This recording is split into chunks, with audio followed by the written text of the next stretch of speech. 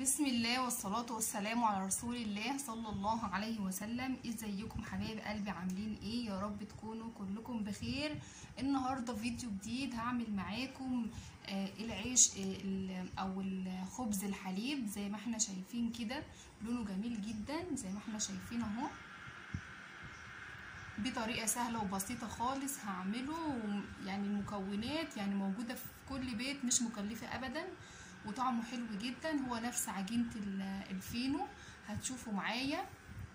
بس ده بيتفرد كده في في الصينية وبتقطعيه بقى زي ما أنتم شايفين كده. أنا مقطعة واحدة أهي مقطعة واحدة أهي. زي ما إحنا شايفين كده أهي. شايفين هش جدا من جوه شايفين؟ من جوه هش جدا.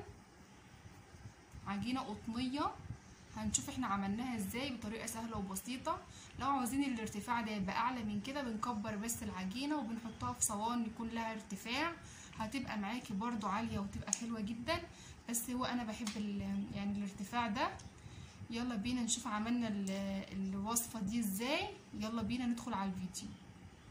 بسم الله زي ما إحنا شايفين قدامنا كده عندنا مكونات سهلة وبسيطة خالص. زي ما إحنا شايفين معانا أربع كوبايات كده من الدقيق.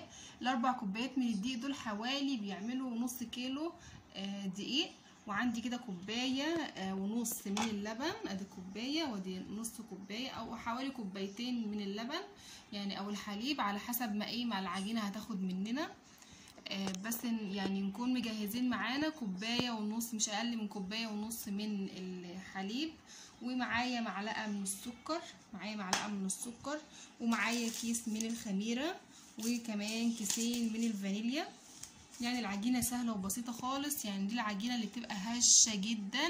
إحنا عملناها مع بعض أكتر من مرة وبنعملها تاني في خبز الحليب. جميل جدا. تقدروا تاكلوه بقى بجبنة بأي حاجة. هو نفس عجينة الفينو.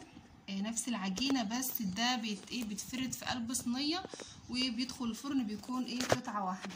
انت بقى تقدري تقطعيه بعد كده زي ما انت عاوزة. آه زي ما إحنا شايفين كده معايا أربع كوبايات من الدقيق. هنزل عليهم بذرة كده من الملح ذرة بس كده من الملح.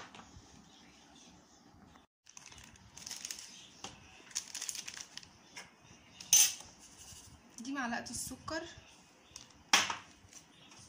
هنزل عليها كده بالخميرة كيس الخميرة. بصوا يا جماعة الجو حر فممكن إيه ما يعني تستغلوا إن أنتوا تضيفوا الكيس كله. ممكن نضيف إيه يعني نص الكيس. لأن الجو حر زي ما إحنا شايفين وهننزل كده إيه حوالي كده معلقتين من الحليب. ندوب بس فيهم كده الخميرة والسكر. هو نوع الخميرة ده على فكرة كويس بس الطريقة دي كده زي ما أنا قلت قبل كده بتنشط الخميرة. نركنهم كده على جنب شوية. هنبدأ نعمل إيه دلوقتي؟ ننزل كده بالفانيليا.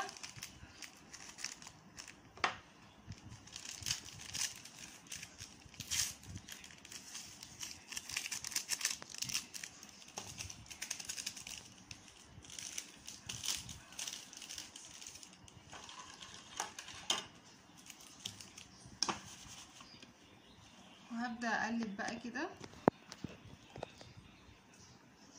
العجينة دي بتكون عجينة لينة ما بتكونش عجينة يعني متماسكة قوي. هنشوف دلوقتي هنزل بقى عليها كده باللبن.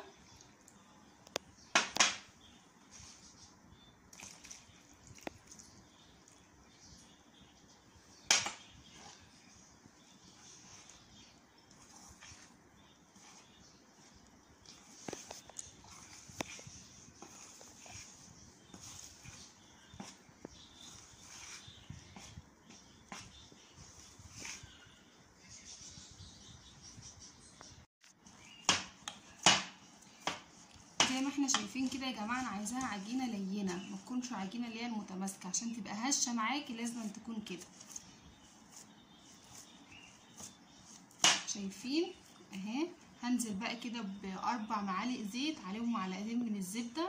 تقدري تعمليها بزيت بس. أنا عملتها أربع معالق من الزيت عليهم معلقتين من الزبدة. هبدأ بقى هعجنها برضو. لحد ما تكون إيه عجينة كده متماسكة. وفي نفس الوقت لينة شايفين؟ العجينة لينة معايا خالص اهي. هبدأ بقى أنا اعجنها وارجع لكم تاني.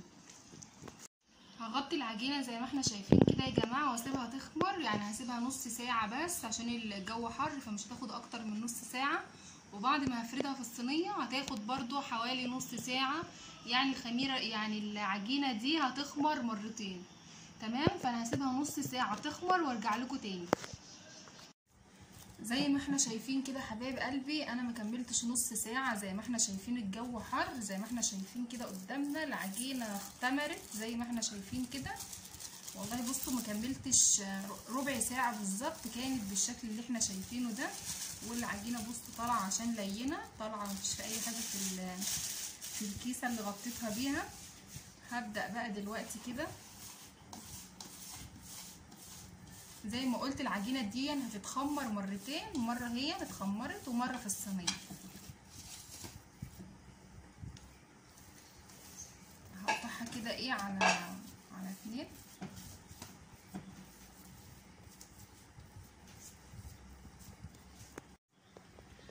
وزي ما إحنا شايفين كده حبايب قلبي أنا عملت كورتين كورتين اهم واحدة كده صغيرة نقدر نعمل في الصينية اللي هي بتاعه البيتزا. لو عاوزين يعني ال يعني الحجم بتاعها ما يبقاش كبير قوي يبقى الارتفاع زي ارتفاع كده الصينية.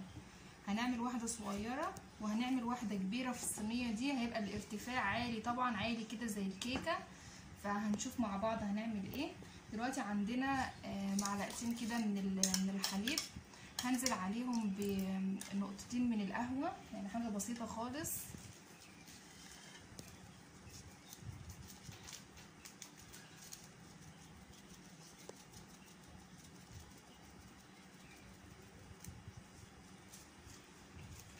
طبعا تقدري تضيفي صفار بيضة بس أنا مش بحب أدهن بصفار البيض مبحبش ريحته. بس تقدري انت لو انت بتحبيه تقدري تضيفيه عادي مفيش أي مشكلة. أنا هقلبها كده مع بعض كويس قوي. نركنهم على جنب ونبدأ بقى نفرد كده أول واحدة.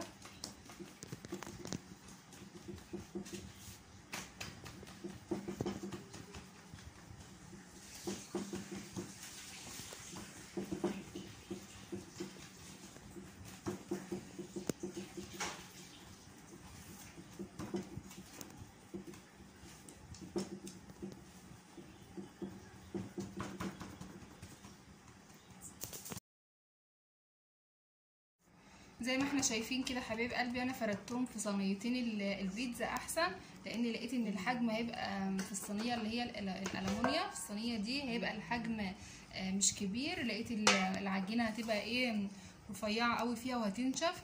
فأنا فضلت إن أنا أعملهم كده في صواني البيتزا زي ما إحنا شايفين قدامنا كده وببدأ بقى أعمل كده بإيدي كده منظر كده بيخلي إيه الشكل حلو.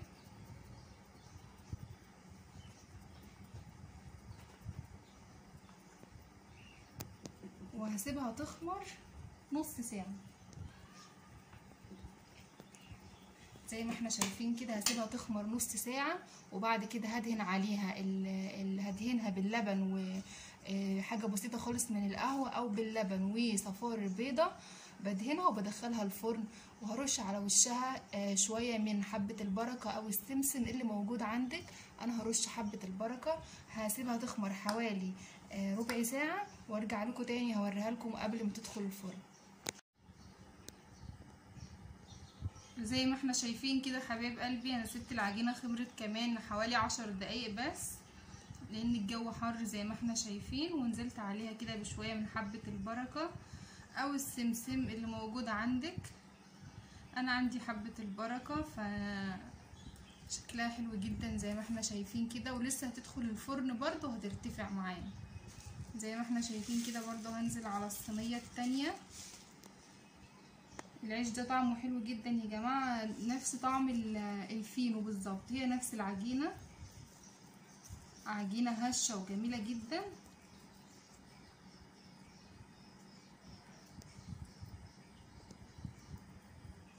أنا هدخلها بقى الفرن ولما تطلع من الفرن هوريها لكم.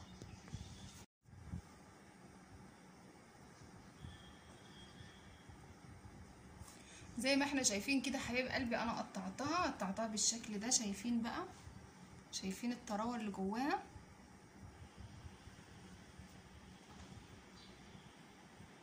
شايفين؟ هشة جدا. لو أنتوا عاوزين طبعا السمك بتاع العيش يبقى أكتر من كده يبقى عالي كده تقدروا مثلا ت... ت... يعني تكبروا العجينة وتحطوها في صينية إيه يكون ليها ارتفاع مش صواني بيتزا بس. أنا حابة الارتفاع يكون كده. تمام؟ زي ما إحنا شايفين كده هش جدا. أهو. يا رب فيديو النهارده يكون عجبكم. لو عجبكم بقى ما تنسوش لايك للفيديو. واشتراك في القناة عشان يوصل لكم مني كل جديد وأشوفكم على خير مع السلامة.